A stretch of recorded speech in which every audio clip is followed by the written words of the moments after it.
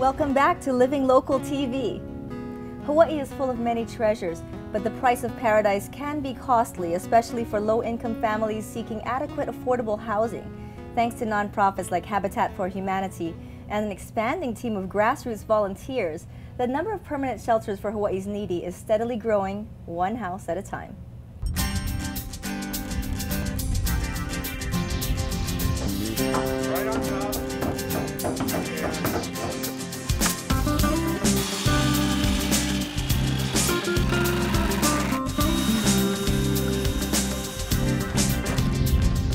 Measuring up to the needs of affordable housing in Hawaii is not an easy task.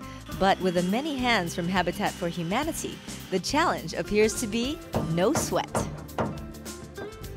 The concept is that we build the house with volunteer labor and uh, Habitat purchases all the materials to build the house and then we provide the mortgage for the family at 20 years, no interest. So there's no profit that's made on the house. We have about 29 Marines from Pohakuloa Training Ground that are volunteering today along with other our, our regular volunteers. And you know, it is one home at a time, but it's, it's a gift that's passed on for generations. Habitat has already built more than a dozen homes in West Hawaii and now plans for more construction through a new formal partnership with the Catholic Church. As we look at affordable housing, we're going to be looking at all kinds of opportunities to um, increase the inventory of housing for the poor.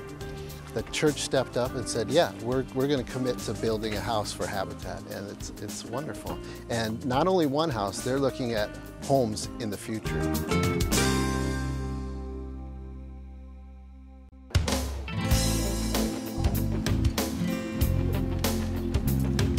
End of the Son,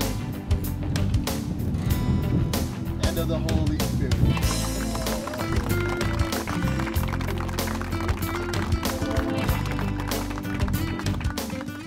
everybody and everyone deserves a home. This is the first parish-based home and I would encourage all the parishes on all the islands to do the same. The local church uh, Annunciation Parish has adopted this house. They're going to provide all of the volunteer labor from their parishioners and um, they're also supporting the house. They are making a, a large donation to the build itself. And so we're grateful. It's been a wonderful yes for us, and it is doable and it is something we can attain, feel good about, but also build a house. Nothing better than building a house for a needy family. So it's been good all around, that's for sure. I'm a carpenter and I heard about Habitat for Humanity was in church, so I was like, yeah, you know, I could help out. So I just came and everything's been pretty cherry. This is phenomenal. But we're actually going to be even more impressive in September this year. We're doing a blitz build, which is five houses in 10 days. So it's going to happen with 100% confidence. It's going to happen. Do the right thing by supporting our neighbors and our friends and our keiki and our kupuna or just a hug. You come to give, but in actuality, you receive so much more. The most rewarding uh, thing about this job is the day that we turn over the house and the house becomes a home.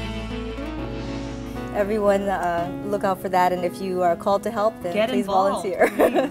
Thank you very much to the Office for Social Ministry and the Diocese of Honolulu for taking an active stance in affordable housing.